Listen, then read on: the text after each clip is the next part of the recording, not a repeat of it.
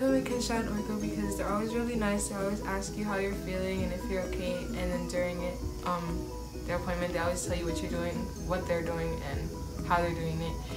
And their playlist is always good.